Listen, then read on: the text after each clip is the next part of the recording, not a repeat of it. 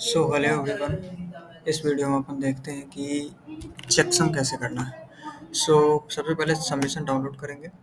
Submission has been downloaded या I am going to the file file manager okay download option yes here I will create a folder new folder yes I will cut paste this downloaded zip file to this new folder control X या control V now here I will unzip it extract all yes it has been extracted so inside this root folder all my um, project uh, uh, templates vs code all the uh, files are here so so, अब अपन को क्या करना है ये जो root folder है ना इसके पैरेलल एक चेकसम डॉट पी नाम से पाइथन फ़ाइल बनाना है सो so, तो सबसे पहले इसको ओपन करते हैं VS में VS में ओपन करने के लिए C M D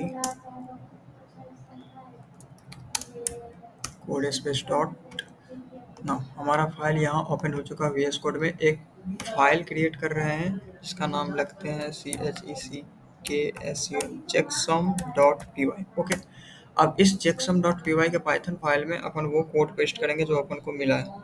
So let me check yes import checksum धीर अगर आपके पास चेकसम नहीं है तो टर्मिनल खोल के आप यहाँ या फिर सी में कहीं भी पिप पिप इंस्टॉल चेक समझिए आप कर लीजिए।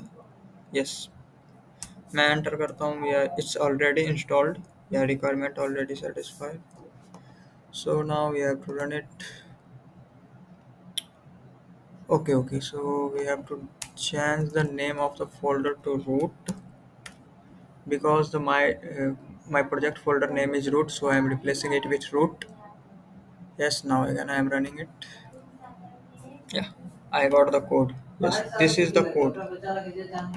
I am doing once again. Clear yes. We have to replace the folder name. Here it was initially it was folder name so we have to replace this folder name with the name uh, what's my project folder is my project folder name is root so i am replacing it with root. Control s and now i'm running it.